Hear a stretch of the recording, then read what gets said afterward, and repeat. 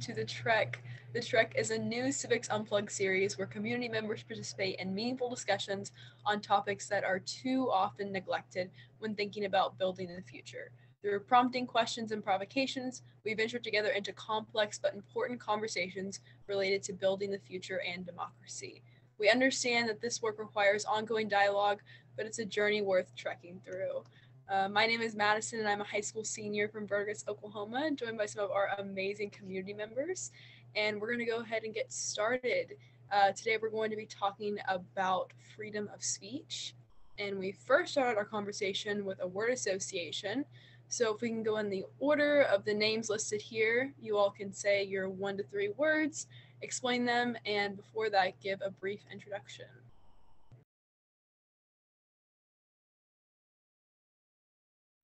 Jonah, do you want to start us off? Yeah, I was trying to come up with a way to make this fit inside the rules, and I'm just going to give up and break them again.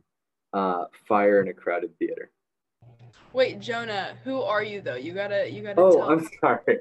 I jumped to the word association. That's my bad. Um, yeah, I'm Jonah. I'm 18 years old. I'm a high school senior from St. Louis, Missouri. And why do you say fire in a crowded theater? It I can't remember what Supreme Court justice was, but it was the Supreme it was the standard that the Supreme Court set for when you exit the realm of free speech and enter the realm of just dangerous stuff that is that you don't have a right to say, like that where it isn't considered speech anymore. Jonah, was it Schenck versus the United States? That sounds right to me. Um, Does Ashley know the answer to this? yeah, like please tell me. Um, Anyways, Julia, oh, that's espionage. go for it. Yeah. Um, hi, I'm Julia. I'm 23 years old. I'm currently living living in Pennsylvania. Um, when I think of freedom of speech, I think of choice and silenced. I would say um, choice. I guess like the more choice people have, the less limitations that they feel are put on them. And I would think freedom of speech um, really aligns with people feeling like they have some type of choice. And um, silenced if people feel constrained by others in their words um, they feel like they're being silenced obviously and people get suspicious of that and also triggered by that Good stuff. Bryson. Um, hi, I'm Bryce Brycelyn. I am a freshman from Florida. And when I think of freedom of speech, kind of the first word that comes to my mind is necessary because I'm a very vocal person. And if we didn't have freedom of speech, I would probably be locked up every single day for the rest of my life because I just speak my mind called constantly. So that's the first word that comes to my brain. All right. Um, hey everyone, I'm Maryam. I am a senior from the suburbs of Chicago. And the thing that immediately comes to mind is safety versus liberty, because I know that's a discussion that comes up a lot surrounding freedom of speech and often comes up in terms of like when it's appropriate to like limit freedom of speech, if at all. So that's definitely something that comes up a lot.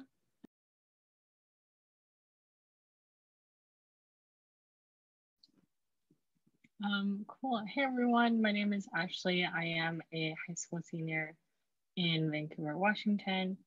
Um, when I think about freedom of speech, um,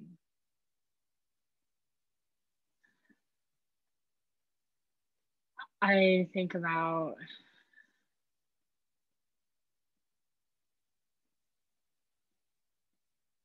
identity. I don't know. I feel like a lot of like free speech is, is like associated with like how we express ourselves and how we want to bring ourselves into the world. Um, and then I think about truth. I think there are a lot of different ver- versions of truth that exist. Um, but I feel like the goal is to be ethical and I don't know, try to actually I don't know where I'm going, but yeah. Um, I want to put power and feedback loops. and we'll we'll we'll talk about those questions, the topics through the questions. Okay. Um, I'm gonna put polarizing uh, and democracy, just because freedom of speech has become a more polarizing issue uh, than it previously was, in democracy because I think free speech lays the foundation for democracy. There's a reason why it's the First Amendment, and it's what distinguishes us from so many other places around the world. Gary, quick question. When you said uh, Ken was going to join us, are you talking about Ken White or is this a different Ken? Uh, I don't know who Ken White is. Um, Ken from Ethereum Foundation. Oh, okay. So that's probably a different thing. I, I Googled that quote and Maryam was right. It is uh, Schenck v. United States.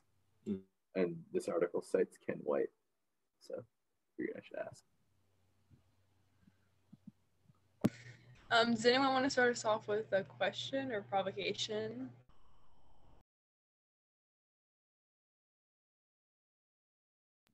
Um, I'm interested in hearing more about Gary, your answer of like feedback loops and how that ties into freedom of speech.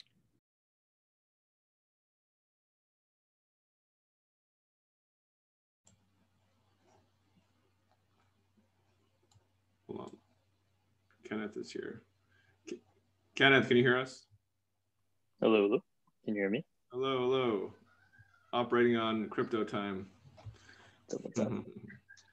Uh, do you want to? Um, so just uh, I think you'll you'll quickly see how this goes. Um, it's like kind of a free flowing, semi structured, uh, like only lightly structured dialogue on freedom of speech. Um, we started with a word association. Um, do you have one one to three words that come to mind when you think of freedom of speech? And then just introduce yourself very, very briefly. Um, uh, word association, freedom of speech, uh, censorship less. Like is, it, is that censorship less? Censorship less. I, I, well, I meant to say censorship resistant. Okay. Um, yeah, why don't we put that? but I, I realized, yeah, th- those are two words, right? That's in between. That's good. Um, Are, tho- are those your two words? Or uh, those, those are my two words. Okay, The first thing that comes to mind is just Great. censorship. Yeah.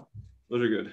Um, so Maryam, to answer your question, uh, one thing that comes to mind is how, um, let's say you censor someone, um, it fuels the censored person's fire, right? It makes them go to more extreme routes that uh, go beyond uh, speech because they have no speech anymore. It's like pouring gasoline on uh, unstable um, kind of chemical compounds, right? Yeah, that makes a ton of sense. Um, I guess like that isn't even somewhere that my mind just naturally goes when I think of freedom of speech. So it's interesting to think about how like suppressing freedom of speech can actually fuel things that people are trying to like stop. Exactly. Yeah, okay, that's a that's a really good point.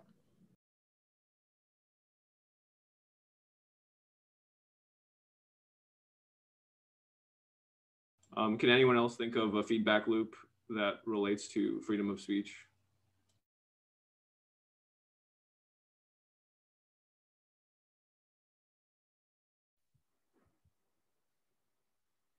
Uh, I guess if you look at it in the opposite in the opposite case too, that could be a thing.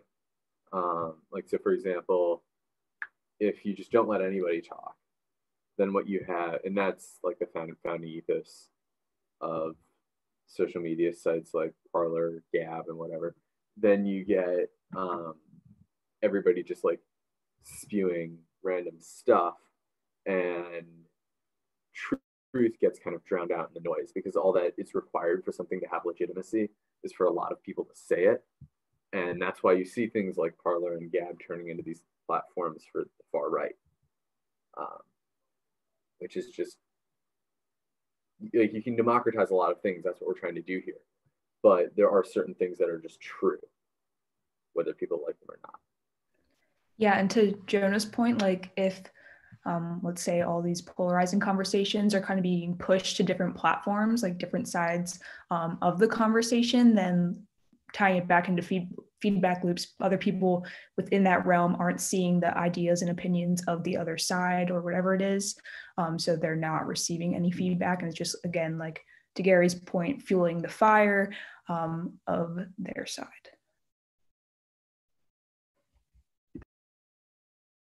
I think that's something else we can know about feedback loops is that like if you're having a conversation with somebody and you're telling them not to say whatever they're saying, um, this is kind of similar to Gary's point, but just like if you're telling them like if you're giving them evidence for why they shouldn't be like saying whatever they're saying, even if they can see your point, a lot of the time stubborn people will like still continue to say the things that they're saying no matter what because feedback loops can get very heated if they go the wrong way. Um, so yeah, I just think that it's important to know how emotions can um, kind of blur feedback loops.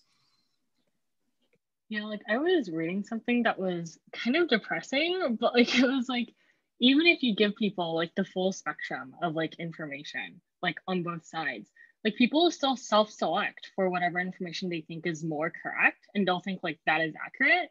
And so like even if people like all start off with the same information, like you'll still end up like having like polarized points of views because like people have the, like their natural like I don't know inclinations for what they believe is like right and what they believe is like true, and then it just like diverges from there. I like that a lot because the, the truth is sort of this social construct, right? In, in a lot of cases, social construct and social contracts are, are what determine what is technically like true in your world, right? Someone who is blind doesn't know, uh, you know, color. So telling them what color and describing them what color is is, is a very very different concept. Um, so you know, with freedom of speech, technically, you know, truth is really subjective in terms of like what your echo chamber or what it is that you're hearing and and sort of like your own microcosm of the macrocosm of the world, uh, and you see that as the truth. And so that's what you hold as your truth.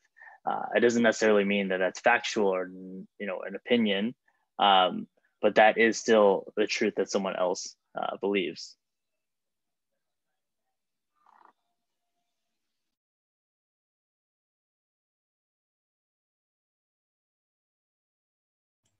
You know like how do you how do you tell someone that um, that feels like this is dangerous this is evil that it's not true? Because those are just so like mushy terms already. It's not like you can't like measure i mean there's no like widely agreed upon measure of evil or good or like you know so so in politics it's so easy to just confirm um, what you already believe yeah, so, like. Sorry, okay. Go ahead. Okay. Um, sorry. Uh, I was just gonna say, one thing that's interesting is that people, depending on different media that people see it, I don't mean media as in like media companies. I mean media as in like written, verbal, video, whatever. Uh, depending on what medium people use to learn something, has a big effect on what they remember about it, whether or not they remember it. So you might learn something that you believe to be true, and then later hear, oh, that's false. And in that moment, you'll realize, oh, the source that's contradicting this thing is better, more accurate. I'm going to believe that source. But then a little bit later, if you're asked to remember which is the true thing, which is the false thing, you're more likely to remember certain media more than you are to remember truth. Sorry, if you see something in a video, you're more likely to remember it than if you see it over text. So if someone you ever heard of the phrase "the medium is the message"? No, but that's interesting.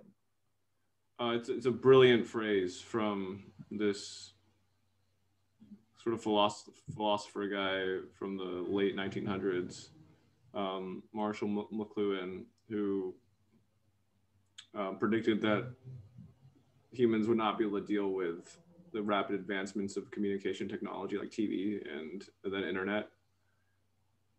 It just it affects us in ways that we you know, we barely understand or don't understand. Yeah. Oh, that's really interesting. Um, yeah, that's really interesting. Um, what is what is uh um, I guess I challenge Ken to say more about censorship resistance. I guess that's a provocation. I guess it's hard, right? Censorship resistance is something that You're muted. is polarizing. Oh, can you hear me? Hello. We can hear you. Oh, okay. Um, censorship resistance is is polarizing on both ends, right? And it's not something that hasn't already been brought up. But I think if Uh, I think we're thinking, setting is. Am I the only one? Okay, kind of your settings Yeah, are, are like. Oh, I think that might be your headphones. okay, you can't hear me. Yeah, we can't. Just check your audio settings on Zoom. It says Click on the- headphones. Little triangle thing, Yeah, it says it says it's headphones. like uh, microphone. Everyone says they hear me fine. I'm hearing No. no. fine. too. Yeah. This guy's a tech guy.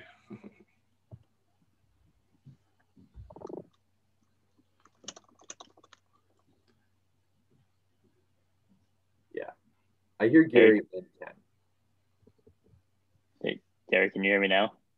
You can also unplug your um, your headset.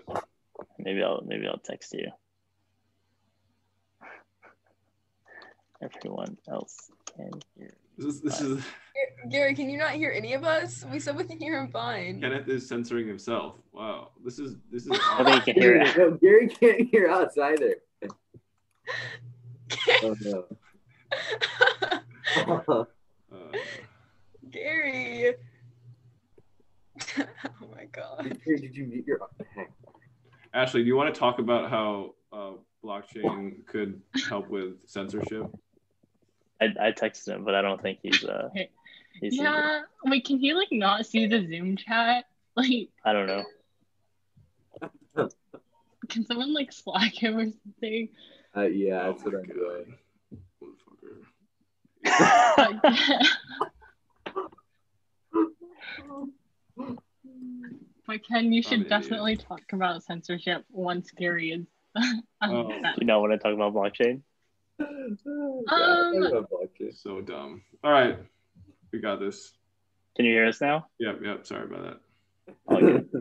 um yeah censorship resistance is uh it, it's polarizing at both ends. It's something i feel like this has already been talked about but um when you're pushed to one side or the other you're going to sort of try to swing a pendulum right? The the way that a pendulum works it, it always goes back and forth.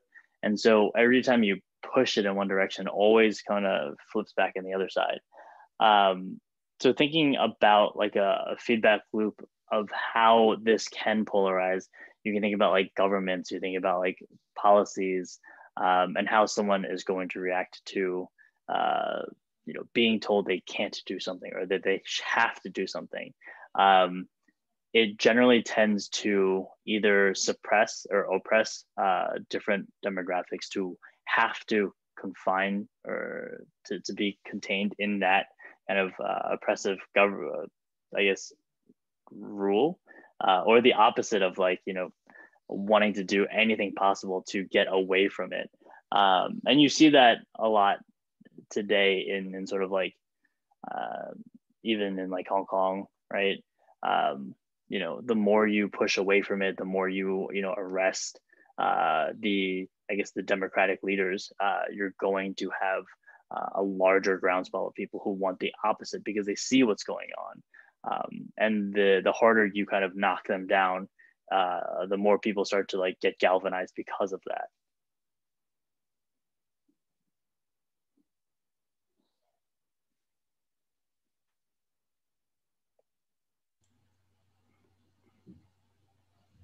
Ashley, any thoughts?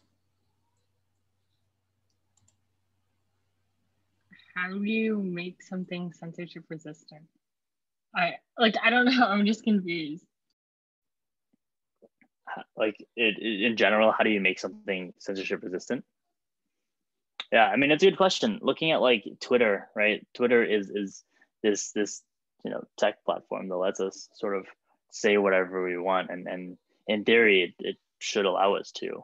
Um, but when you stop someone like Donald Trump from saying whatever it is that he wants to say um, for the, I guess, the better of the country, um, I think most people see this as like, yes, you're stopping the, um, you're stopping him from inciting violence and, and inciting sort of like this, you know,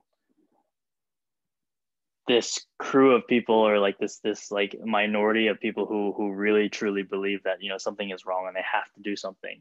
Um but that doesn't that doesn't do you know i think the in, intention there is is for me is right um at least what i believe but for the opposite right there are for every like one of me there's another uh you know alternate universe me that says like you know this is actually really bad because if you can stop trump from saying something who's to say that you know jack dorsey just doesn't have um, some other inclination to say i'm going to permanently ban um, you know barack obama from trying to do you know xyz um, you know there like where is there an actual sort of like bound where you uh, can or cannot do or say something? Um, but if you look at something like a, a peer-to-peer system where uh, you can there, there's like little to no moderation um, like a like a, a 4chan um, you know you have this very open world to to say or do whatever it is that you want to uh, but doesn't necessarily mean that it's right or wrong right it's that's that's something subjective that someone else kind of posits on it um, but there are systems that even if you do that, the question is, how far can you go? Right? There's there's always that pendulum of like, you know, just because it's completely resistant, is that really what it, that you want to hear? And that's that's sort of the same question behind like Parler Um, just because it's it's allowed and just because you can do it, should you? Should you? Yeah, to bring up that point I brought up to Gary earlier, like talking about boundaries and such just like in my childhood neighborhood yesterday, like along with like the president getting suspended, there was like four neighborhood moms who got suspended on Twitter just because like they retweeted like obviously something that um, was insinuating violence or I don't know what it was, something that had to do with what t- Twitter is putting guidelines on. Just like in my suburban neighborhood, like four moms got kicked off Twitter, which is interesting. Um, so I thought that was also a point to bring up. Yeah, I guess like like I guess when I think about like because yes, I do see that line. And like I don't think like the solution is necessary to like restrict speech, right? Like I like I think I guess like I think about like the need to like build a system where like you don't have to like guess the credibility of a source while like you're trying to learn about a topic. Like because because people are going to just balance it out, right? Like like Ken, you said like you know like there's like you on this side, but then like another Ken on like the other side would like yeah. just like say the opposite thing. Um, like I don't know how like this would work, but like it, like it, it needs to be okay to be wrong. But if like you're wrong, like but if like so, but if someone is usually wrong like that information should be like conveyed. Yeah. And like people should be able to like know that. Yeah so um, i want to pose a question related to that. Thank you ashley. Um, what might need to exist in order for um, free speech to, to work to advance human flourishing.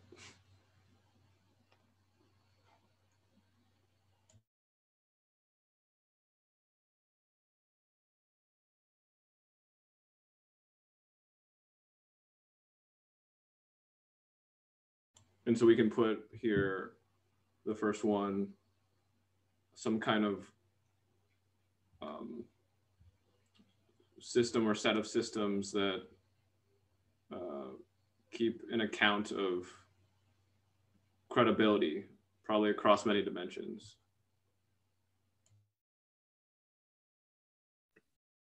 This is just like a point that like on initiative on social media and such lately that like um, at, at first it was kind of like what? But um, it's a good way not to silence people but to warn people about the information that they're taking in, in on twitter and like on instagram just those um, i can't think of the word just those like little messages under posts saying like if something is possibly misinformation or something of the sort those were helpful and think make people look deeper into the information that they're reading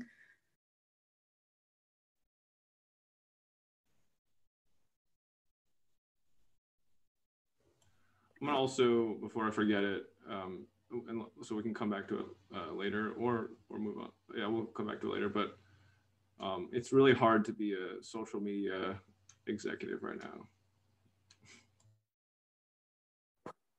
I'll be honest, Gary. I think it's probably worth it to be a social media exec right now. I mean, I'm not a social media exec myself. So I'm not saying they're not rich. I'm just saying it's, it's hard right now. It's a challenging job. Yeah, that's that's fair.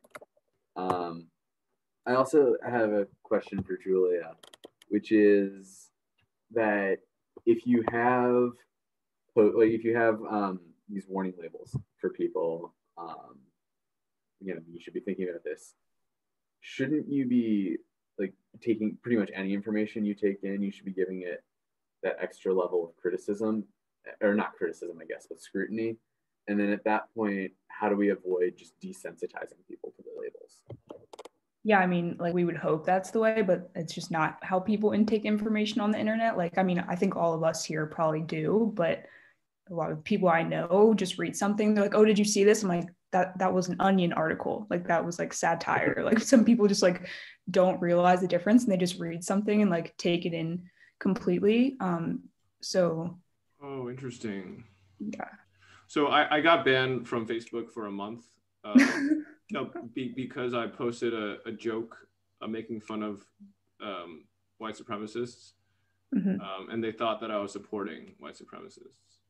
yeah Yeah, so like, yeah, so j- jokes don't do very well in this censorship-prone environment. because you can't like think that everyone has first of all the same sense of humor humor as you to even like understand something online that you're posting like maybe your friends or whatever can obviously see that's sarcastic or whatever but other people could maybe stand behind that as a truth post. Um so yeah. You know what this is making me realize is that speech is um it's it's it's so important but also we we place so much emphasis in our politics about what people say and not what they do and not what they build. So i think it's like really really important that we continue to use the word builder to describe our community members. Um, we're not talkers. We're figuring things out right now. We're dialoguers and we're builders. We're not like just posting tweets um, and trying to win petty little battles. So I just wanted to call that out. Right? It's almost like okay. Well, this kind of goes in line with like it's really hard to be a social media executive right now. You can't just fix democracy by just talking about it. I do want to add one caveat though. Um, I think that when we talk about movements, especially social impact movements, anything about any change, I think there is a role for everybody. And and although um, you know this group directly is not you know just talkers or doers, I think there is still a role for people who are talkers. And I think it's it's it would be wrong for us to sort of like um, uh, talk down on people who are just the talkers, right? I think there is still um, uh, room and, and there's still, you know, impact given, uh, provided by people who are, you know, the, the keyboard warriors, right? I think, you know, there's some times where it's, it's probably like too much. Um, but I do think that, you know, every little bit helps. And I think the most important thing to always remember is that there's a role for everybody in these movements. Yeah, that's a really good point.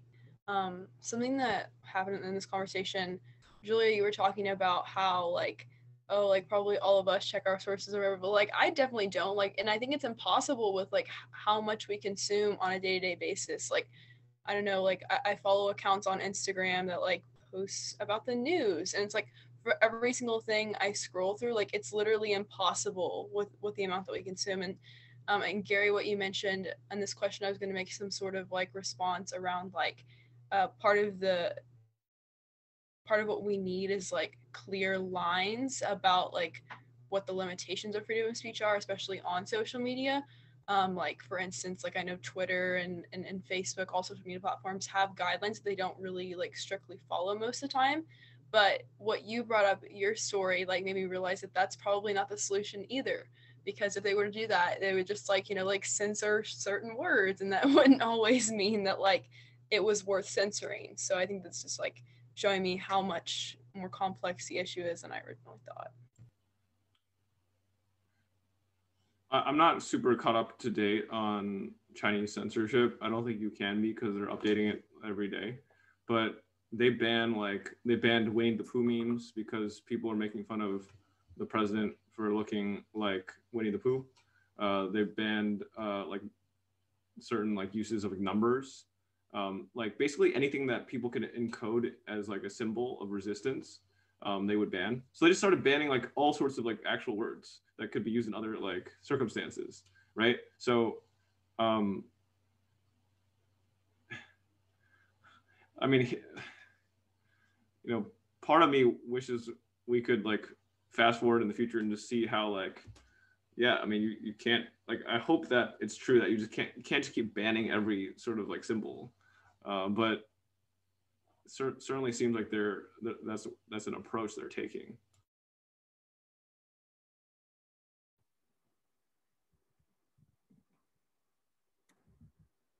One thing, kind of a necessary outgrowth, I think, of the discussion of what is censorship and what can you regulate before it becomes censorship. Really, in order to ask that question, you have to decide what is speech. And right like like what constitutes speech? So we have in the united states we have the citizens united rule which says that money is speech. And personally i think that's really like i think that is logistically flawed but logically flawed just because it doesn't like like you can't do anything basically now all of a sudden without regulating speech um, so what other things? Gary talked a little bit about symbols could constitute speech.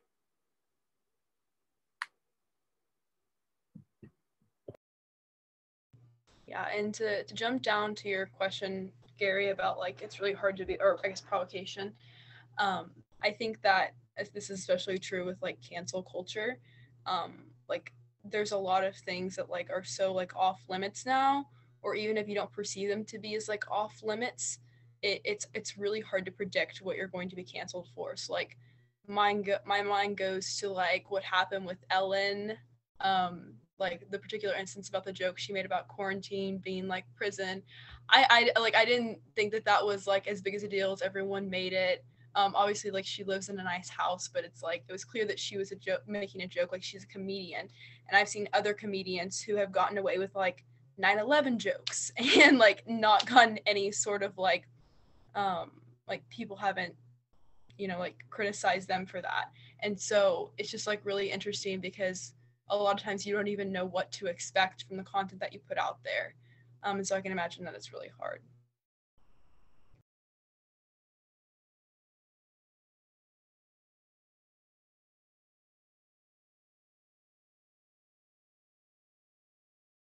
So when you meant social media executive, were you saying like someone that's posting on social media?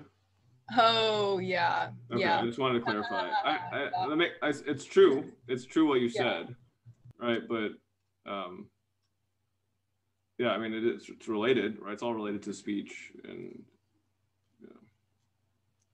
I'm saying like Zuckerberg, Dorsey, his staff. Um, so, um, does anyone want to like um, put on your defend that that sort of role hat, uh, Maryam? Defend like the defend. The yeah, defend how how like like what what why might it be hard right now? Oh, why it's hard? Well, I mean, I, I, I, I'd be interested in exploring that if no one else wants to take it. Well, I think it's like if you're silencing misinformation or what is being deemed as like misinformation or whatever it is right now, insinuating violence, um, you're taking these people off of one of the biggest platforms in the world on social media, but then they're all going to a platform like Parler and like again back to the fueling the fire point earlier. Um, it's like, are you are is it counterproductive? Is it starting more of an issue because all of these people are then ganging up on a different platform where they're only again they're not getting a feedback loop, um, and it's just all of their opinions. Um, so it's like, is it fueling the fire more by doing that, or are you actually helping the situation? It's like a weird thing to navigate. Yeah, I mean, I also think in this discussion, like a huge part of why it's so difficult is because of precedent because like social media is a relatively new phenomenon and like although it doesn't seem like that for like me and for like a lot of people who use social media like avidly it definitely is like something that there aren't like a lot of laws and like regulations about and so for people who are starting to like say okay this person we're gonna like you know suspend their account or do all of these things it's pretty like new in the span of like what they're allowed to do. And because there aren't any like legal regulations on social media it's kind of like up to them to set like the precedent for what is going to be like acceptable later on. And like once they kind of start making these decisions that'll kind of like set the trend for what people follow. So it is hard to like balance this. And like julia said like if you just ban them like people are gonna it's not just gonna stop them. Like they're not gonna you know stop thinking the way they're thinking because like they're removing one source. But then you also have to recognize that that source was inciting a lot of violence. And like at some point it's irresponsible to let them continue you know posting on social media because like we've seen multiple times like what results from you know the postings that you know our president has put out there. So it's a very like fine line to like balance um which is again why we're having this discussion in the first place. But it's hard just because it is so new and there's a lot of navigation to do around it. Wow, well said. I feel like it's also probably difficult to be an executive in any social media company right now because it's very difficult to keep your opinion out of the regulations that you're setting. And it's really difficult because, like, if you're a social media executive and you're on like whichever side of the spectrum, it's really hard to not try and just like stop people on the other side of the spectrum from saying things that you perceive as dumb but like to them it's their truth kind of tying it back to what we said earlier so i know that i would have a really difficult time with that and i'm sure that most people would. Okay so i'm i'm ready to go back on the no we shouldn't have go back to the no we shouldn't have sympathy side for a minute. Because like yeah okay sure the job like no doubt the job is challenging. It's whenever you're you know dealing with a decision that affects that many people if you don't think that decision is difficult to make then you are a terrible person. Um that's so that's the first thing but also at the same time we have these massive corporations twitter facebook to name just two of them google also that very deliberately set themselves up as the sole definitive organization on the internet. Like they they deliberately went out of their way to create a monopoly and just own the entire internet. And the result of that means that they now have to make decisions that affect the entire internet. And that was something they chose to do. Right? So I'm I'm not gonna, yeah With great power. yeah exactly like they they went out of their way to get all kinds of power early on and all kinds of money because they thought it would enrich themselves and now what they're struggling to do they're not struggling to make decisions in a way that will be best for the future of humanity and best for democracy they're struggling to make decisions in a way that will be best for them to continue to protect their business model and i don't have a lot of sympathy like yeah that's a hard if that if you are finding that decision difficult to make, like if you're trying to figure out how what's the easiest way for you to make money and that's hard for you, fine. I'm okay with that.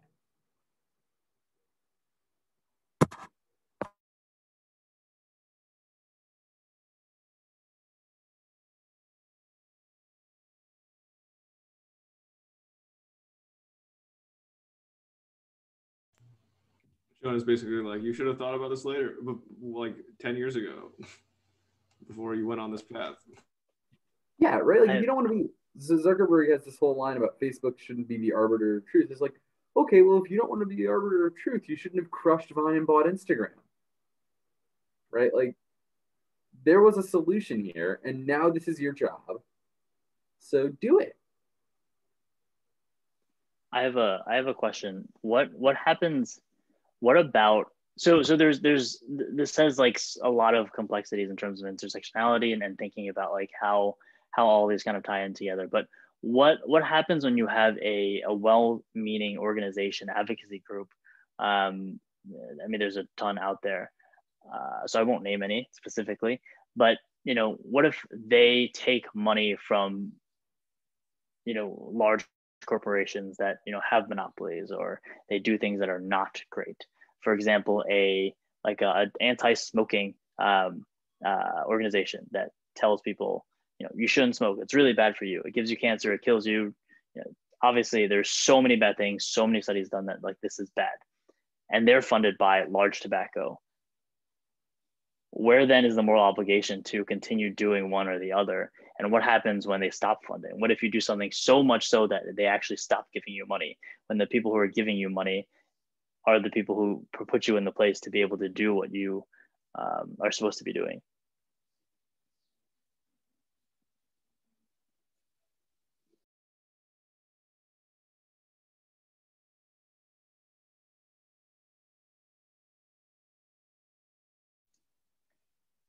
This is why I don't really like nonprofit work because what you do is so dependent on people willing to fund you and that like messes with your values.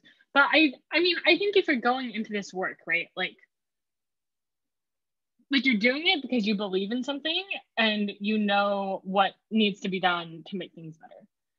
I don't think you should compromise your values in order to because like i mean like if you're taking money from those companies and you're not able to do what you were intended like like and you're not able to do what you intended to do like what is the point of you still doing any of this at all Well, well, the argument is simple. It's just like, oh, well, at least I'll do 80% of it. There's 20% I can't talk about, but I can do 80% of it. And this has happened, well, this happens a lot. Um, a funder will say, stop doing think tank stuff on this topic. You have all these other topics, just don't do this topic. Not defending it at all. That just literally the, the calculus. That's how people sleep at night. but it, it happens Mm. like constantly like like the, the the no smoking the smoking cessation thing like that that is a real thing where you know the more they talk about like not smoking because there there was this whole i think um uh marketing stunt about like you know smoking doesn't make you look cool. But then they like have this like 30 minute uh, or 30 second commercial of like rihanna smoking and like all these celebrities smoking. And like yeah it looks really cool. I i would want to smoke if like all these people I look up to are smoking. Um you know but but your goal is to stop people from smoking but the people who are paying you and like making sure that you have a budget to get a rihanna here to to actually be able to do the things that like uh, you think are good actually do the opposite for other people. That actually gets that 20% of you know the population to say like oh wow. Like this had the opposite effect that you were intending and now i'm going to smoke and that's what they're banking on. So like what then right? Because even if your intention is good even if the things you're doing is still good and like 80% of the way there you're still doing bad because you're taking money from bad people. But without that money you can't do anything at all. Then what? I don't have an answer. I just i'm curious to hear everyone's thoughts. Yeah, I think in Ken's example, I think the 20% left undone wasn't just like 20% of the task that you didn't do, it was 20% of the task that went the other way. And then I think, but like, I think it wasn't exactly 20%. Like, I think that example, you did more harm than good there. And I think as long as you're doing more good than harm, you should keep doing that thing because in the aggregate, right, if everyone takes an action that does more good than harm, then you and you just repeat that infinitely, then you eventually just infinitely are doing good. Obviously, the more good you can do, the better. So if you can do more good by not taking that money from an organization, go for it. But I do think that in the aggregate, doing more good than harm is always the way to go, no matter what. Okay, I think the, I think the smart thing that like I know that there's tech billionaires that have that donate to like every every like think tank that would write opposition research against them. Um, it's really cheap for them. It's like a PR budget. So if every if every think tank is not talking about a single issue, um, well, I think you you you you uh, you you get what we're in right now, which is like we're only talking about it because it's like too late. and I'm not going to talk about which um, donor um, did this, but one one one tech guy uh, said, if you don't stop looking into, if you if you don't cease your anti-monopoly research, I'm going to stop funding you. They said that to us. No, a think tank. Oh, oh okay, I think that makes sense. I mean, like, I guess where my head goes to then is like, we need a better way for these like small organizations to like communicate and coordinate to identify where are these gaps and then find ways to, you know, like fund people pursuing whatever gaps, but like continue. Okay, I mean, like, like you need a way to take old world money and and like invest it into like new world things. Like i don't like i don't think like refusing money is the answer right? Nothing is going to get done. But like if like the researching mon- like like if the researching monopoly work isn't going to be funded by monopolies it needs to be funded by like sure. ordinary people yep. ordinary yeah yep. like i don't know just like more like I don't know, grassroots coordination to like make sure important things happen. So there's another thing I want to add that I just thought of uh, that it builds off of what Ashley was saying. And it's like all the best questions, Star Trek has an answer for this one. And um, in this case, it's in Star Trek Picard. And so it's set like in the future after next gen, if that means anything to you. I don't know if it does. But if it does, that's the, the time frame. And basically what happened is an alien planet got blown up and so like all the inhabitants of this planet suddenly turned into these space refugees trying to flee and the federation decided no we're not going to help them and picard has, was trying to get the federation to help them and they're like fine we'll give you like a couple of ships and that's it we're not to but we're not to have a whole massive thing um, to, to help all of them the way we should. And so in response to that, Picard was just like, all right, you guys are horrible, I'm out, and quits. And then he spends years racked with guilt because the line that they have in there is, you couldn't save everybody, so you decided to save nobody. And that's not a decision we should make, right? Just because you decide, just because we can't do 100% of what we wanted to accomplish doesn't mean we should do 0% of what we want to accomplish. That's what Ashley was saying. Like, if you don't take any money, nothing's going to get done. Also, uh, I'm just happy that we're talking about this because the more that we talk about, the more more courage I think we'll have to continue talking about it and having the kind of collective like virtue to or just work ethic to find donors that don't force us to compromise our values. I don't know if I've heard this. Like, it's not like I, I don't just like watch like nonprofit or like philanthropy panels for fun, but I've like very rarely talked like heard this conversation being had. Um, you know.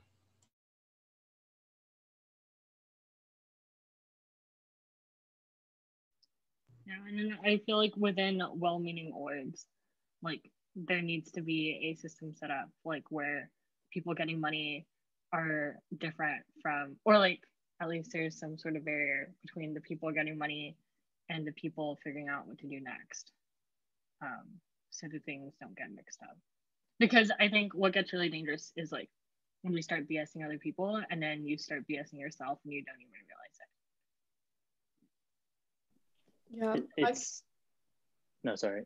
No i was just gonna say i completely agree because i think that like like we were saying, like it's important to take this money because like we do need money to do all the things that we need to do. But like, don't consumers have like a right to know that like the message that they're being like broadcasted to is also funded by a certain like person other than the organization and like how that might impact the message and then when people are taking that money like when we talk about like oh overall it's good versus overall it's bad like that's super subjective. And then could you rationalize it to yourself to be like oh well i think it's good just so that like you can say oh yeah like i want to take this money so i can like rationalize it to make it seem like it's good.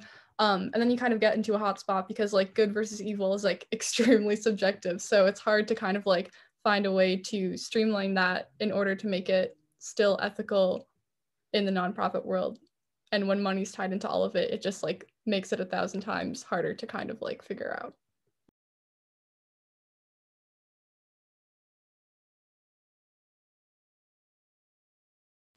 I feel like a lot of what we're saying is super like subjective and it's really based on a lot of like morals that are out there. And we kind of like touched on at the beginning of this conversation, like, well, we don't really know what the line is to be drawn for morals. So I just want to like, we're also talking about like doing more harm than good, doing more good than harm, whatever. So I just want to like put it out there to you guys, not necessarily as a question or provocation, but just something to think about if like every single organization, every single person, whatever, had a net worth of the good that they're doing versus the bad that they're doing, do you think that the world would be different if we looked at it as a whole as like a network as opposed to like oh this person or this organization said this thing one time so i don't support them now kind of like cancel culture? Like how do you think looking at it as an overall would change things? Totally. A, a, a big like push that I mean, it's really hard to implement, but we don't really penalize organ, uh, like corporations for the externalities that they produce. In other words, like when they destroy the rainforest, um, it's, it's, it's like not really built in our system to track these sort of things. Um, so 100%, right? If, if we were like, if you could click on some corporation and see that how many like how much rainforest they destroyed how much how much biodiversity they destroyed. No one would no one would would purchase stuff from them right?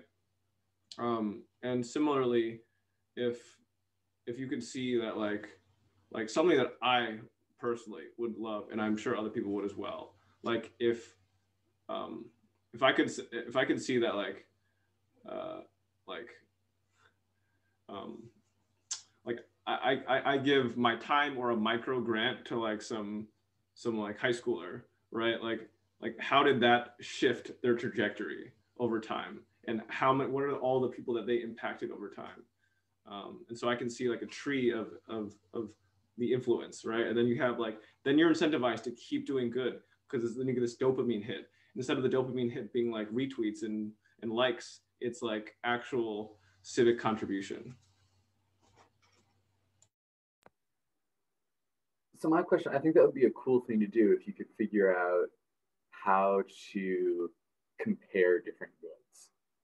Like certain goods, I guess, could definitely outweigh others, like saving somebody's life versus by like pulling them out of the way of a speeding bus versus saving somebody five minutes by keeping the bus from leaving without them. You know, like those are things you could compare. But there are others where it's harder and you can't really say well i think this good is definitively greater than that good. Um, yeah because of feedback loops because you don't know if like something that might be good for you like for the next in the in the near term right could actually like cause downward spirals for all sorts of things. Yeah so that's that's the tricky thing. It's uh, you should check out uh, jonah i think you would like this site slash publication 80000 hours all about like um, so you have like the idea is that you have 80,000 hours uh, in your like life to do work. Oh, um, Um, that's what that one book you sent me, End Spiral. The whole thing. Is that yeah, I, I, I'm sure they reference like um, some sort of tens of thousands of hours. Yeah, and that and that's really important to think about because, um, like, what is your U-shaped hole such that you actually have a net positive impact, but also you have to figure out your own philosophy and almost like metaphysics about what good is, right? And and does anyone like remember talking about that with their teachers? And if you did, like, congrats. That's extremely lucky.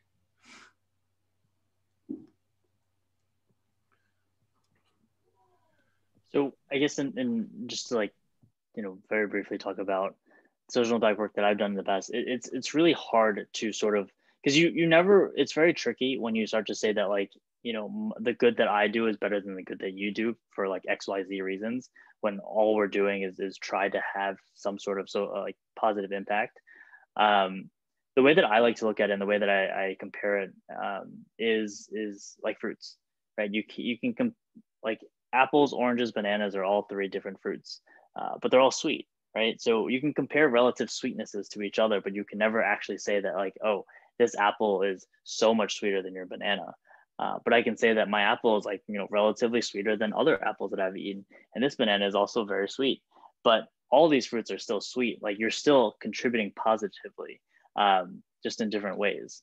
Uh, but it is it is really hard to look at it from a longitudinal scale of like you know it's good now, but what happens like 10 years in the future, right? I had half this apple now, but 10 years in the future, like this apple is not going to be good. It could actually be left there and it could be really bad. And, and, you know, we look at that the same way that I guess I, I make that example because you look at plastics and, and the way that pa- plastics are looked at as like, you know, so great now, right? Like we have like, you know, recycled plastics, like these are, these are BPA free, like these are recyclable plastics but they're not really right they just kind of sit there and, and they like it takes like a hundred years to, to you know Mm. degrade it's not like truly biodegradable the same way you throw it in the soil and you know you can use it it takes a long time to be done it's better than you know the status quo but it's not May- Maybe, right? Maybe because it could it could make people complacent. exactly You and, and you wouldn't know You don't even know if, if it's better.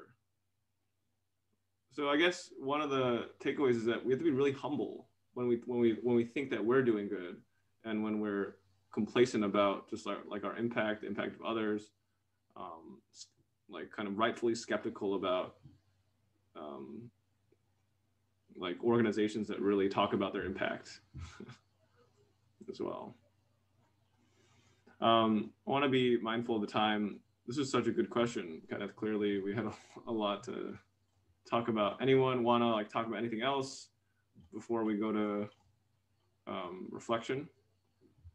I think one more point I wanted to add to like the social media execs um, section, like I think a tough thing right now um, to set boundaries on is like ominous statements. I feel like these have become like increasingly Mm. popular over the past year or two. Like the Mm. truth will come to light, or like they don't know what's coming. Like I feel like I see statements like all the and like I've just over the past year or two, I just see it so much more, of course, on like Facebook, but like it almost feels like people being brainwashed to like feel threatened at all times or something. I don't know what, but like an example, it's kind of a morbid example. Like a few years ago, there was like um, a kid at a high school that I went to growing up, and um, he was like planning like some type of like bombing or school shooting thing, and like he was tweeting like these ominous statements. Obviously, someone like that deserves to be reported and get their Twitter platform taken down.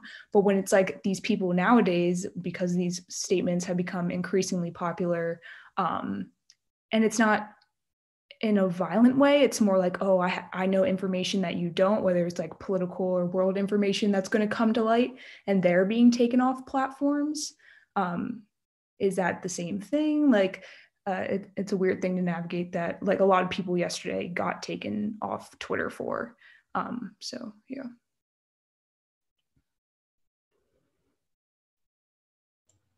Really good stuff. Any anyone else have anything um, before we wrap up? I guess the last thing is like adding to what Julia just said. It, it's not just like suspending, but like, do you now action it? Like, what is your moral obligation to actually do something about it? Someone who has seen it before it was suspended, or as the social media site, like, are you supposed to now alert the authorities? And like, which authorities do you alert? And how does that actually infringe upon, you know, what we think is freedom of speech, right? Because you could say something that could just be like satirical. You could be saying something, which in that case, obviously it was not, but you know, you could be saying something that's like facetious um, you just can't tell in, in writing. You can't tell in text if like that is that is uh, like a joke or not. And and it's the same thing on the other side of like the law. You know, when when you know the FBI or the CIA like pulls your transcripts, they don't look at it and say like, oh, that was clearly a joke. They look at it and say like, that was not a joke. You clearly meant that you were going to you know X Y Z. Like, why did you say that?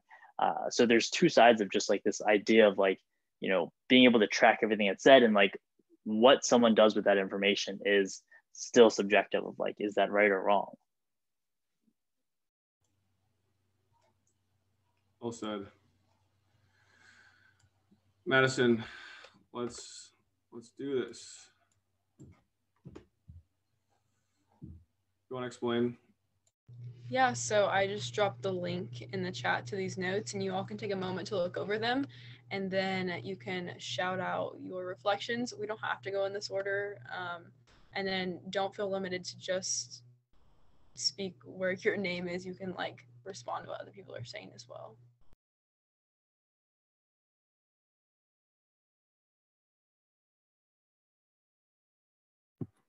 One thing I'm just realizing is we started on freedom of speech and we ended up talking about like the nature of relative good, which I don't even know if that's a word, but um, but that's really interesting.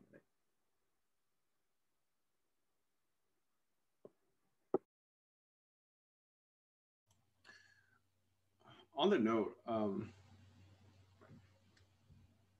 a, question um, for all of us is can we meaningfully level up democracy without starting to define some of the, the words that we take for granted? Like like like all these words we take for granted. Good bad progress um, mostly good like uh, free for i mean freedom of speech right? Like i guess one thing that this it's really cool actually like one thing that this trek uh, reminded me was um, why this trek format is so great because I, I would imagine that all of you learned a lot about this topic today. Certainly, at least where other people are at uh, about this topic, which is so important for democracy because it's all about it's like so much about symbols and like symbol warfare and like clashes and uh, this lack of coordination. So if we don't define our words really clearly, uh, we're not going to get anywhere. I think something that kind of I got from the trek was like, I don't know, I just feel like so much of our conversation, like so much of conversation around free speech is about like what other people can and cannot say. So it's like, you know, it's about censorship. But like, I like how our conversation kind of like went against that. And we talked a lot more about like looking at ourselves and like the technologies we use and like thinking about like the the skills that we would need to develop to be like a more discerning audience or like i don't know like i feel like like a lot of times challenges with free speech are blamed on other people instead of like looking at ourselves and like thinking about well how exactly can like we change or how can we grow to better deal with what currently exists. So well said. And uh, on that point about we kind of project our like crit- crit- critiques uh, um, or we we uh, we see fault in other people that we don't see ourselves, I guess. And it's um, I really I realized a moment in my head at some point in the last couple of years when I was like, ha, look at these people that are so unempathetic. And that's just like a paradox, right? It's just like, it's actually like a, it's like, just like stupid, right? Like you're, like you're not empathetic. You're actually not empathizing with the people that, um, I guess in at least one sort of aspect, we're not on your level of empathy. Um, but this happens all the time, right? Pe- people see the fault in other people and like they're like exemplifying the problem themselves.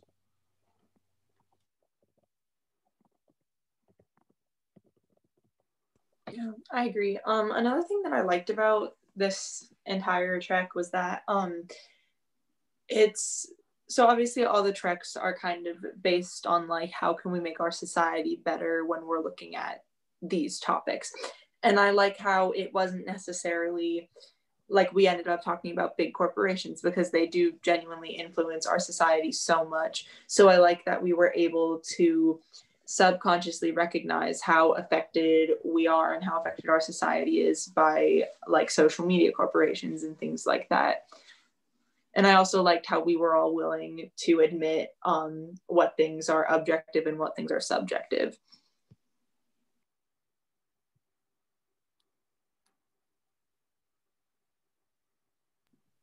I definitely agree with that. And I think that, like, in terms of like charting my own next steps, this conversation has really prompted me to think a lot more about how like corporations or like governments or things like that can really influence things because um I don't know if you guys have like heard of the social dilemma on Netflix, but when I watched that, I was just like, whoa. And I keep learning, especially this year, like I just keep learning more and more about how like big overarching like institutions have like influenced the way I guess that we go about life and like what's quote unquote normal. And I think I take a lot of that for granted because I just assume that it is normal when in reality, like it doesn't have to be that way. And like more and more, I'm thinking about like how we can change the status quo and how it can be different. And a lot of these treks just like force me to reflect on different aspects of society that we can change or that aren't functioning like optimally. So I definitely want to look into more of that. And especially through the lens of um like governments because I do have like a lot of family in Kashmir which is under like lockdown and so like they have a lot of um you know they're not able to communicate a lot and they face a lot of um, censorship. And so i think like challenging these systems that we're currently like operating in and seeing how we can create better ones um, is really important. So yeah.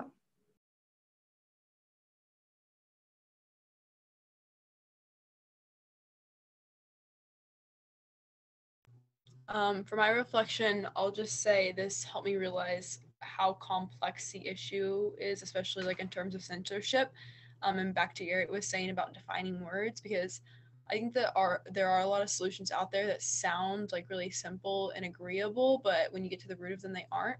So like when Jonah was like, "Yeah, just like you should be doing more good than harm," I was like, "Yeah, that's what you should be doing." But then Maryam was like, "Well, it's like it's hard to know like when you're doing more harm than good or more good than harm, or." Um, and then it's also like you could like really be like BSing yourself about like and like trying to like rationalize what you're doing just to like continue doing what you are uh, like to keep your job and so just like realizing that there's a reason why this is such a big issue because it's like so incredibly complex, especially when it comes about down to like subjective things like good versus bad. I'm so bad at reflections, but I think these just get really good every time. They get better every time, and they're always really enjoyable. So, just like to say that.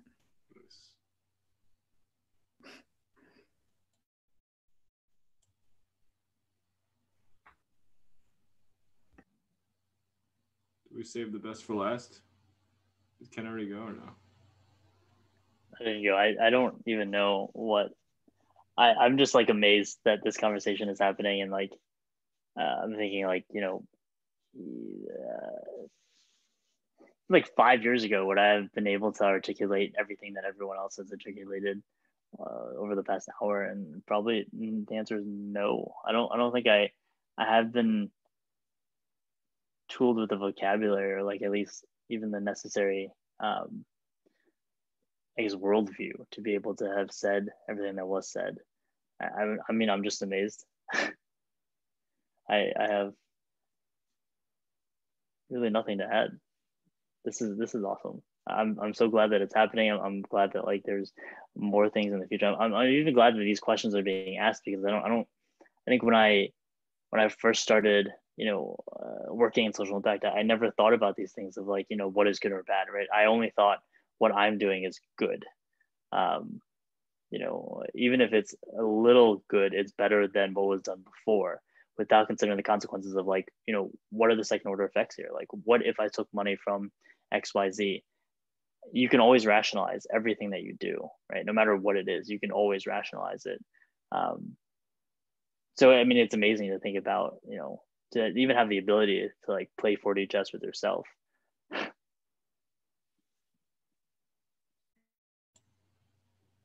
Yeah, I mean, our community is really amazing, and um, it's uh, also like these are really simple processes as you can see. Like, and we've literally every time we've done this, we've iter- we've changed one thing, like, and it just keeps getting better and better. Um, yeah, and so like, can imagine like young people everywhere. I mean, or just intergenerational groups everywhere doing this. Like, imagine like millions of these conversations happening a month, even right, in like several years from now. You know, um, one, one, one way that we yeah.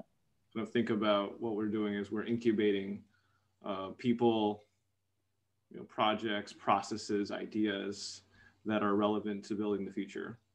Um, so what what what allows for these questions to to be welcomed, right? It's these sort of environments, these sort of practices that that that enable that, and hopefully, not hopefully, um, more and more people will see what you're seeing um, and this will just spread like wildfire. Yeah, I mean, I think I think the question for me is is you know, I always I always wonder, you know, what is the right incentivization here, right? Because there there's clearly something driven more than you know financial um, you know motivators. So like, what is it that actually continues to push this forward and continues to multiply? Um, yeah, I don't know. This is this is super cool. Elon, partnering with Elon.